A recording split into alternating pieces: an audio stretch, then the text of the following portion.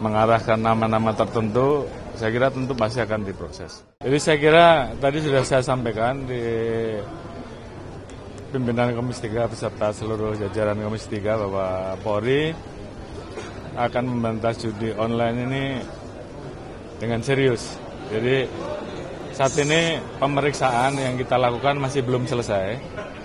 Tadi malam anggota kami baru kembali dari Malaysia untuk menangkap dua pelaku buron dan saat ini sedang dalam pendalaman untuk mengembangkan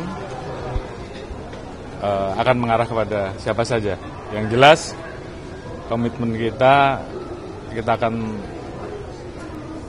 tegakkan kalau memang ini menyasar ke mana saja, tentunya sepanjang itu bisa dibuktikan kita akan proses tuntas. Demikian juga ke dalam, saya sudah sampaikan bahwa terhadap anggota-anggota yang masih main-main, ikut coba-coba main judi online, saya sudah perintahkan kepada Kadif Propam untuk dilakukan penertiban, memberikan sanksi.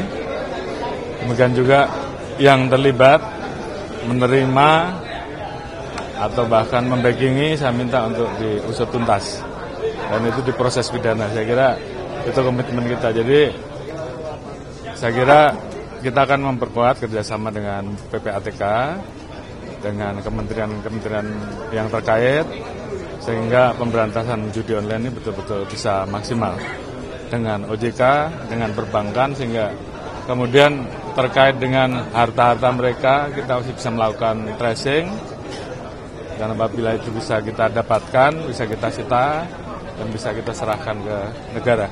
Yang utama adalah agar masyarakat kemudian eh, perlahan-lahan kita garap bersama, tentunya dengan melibatkan seluruh tokoh, seluruh kementerian lembaga, keterlibatan pemerintah daerah, baik pusat maupun kabupaten, untuk bersama-sama melakukan pencegahan.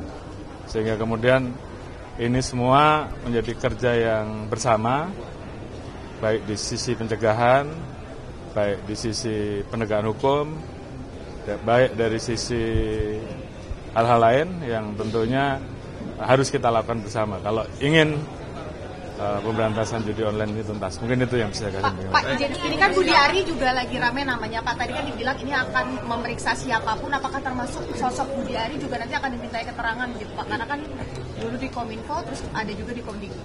Ya saya kira kalau nanti dalam pemeriksaan yang dilakukan oleh anggota saya mengarahkan nama-nama tertentu, saya kira tentu pasti akan diproses, akan diperiksa.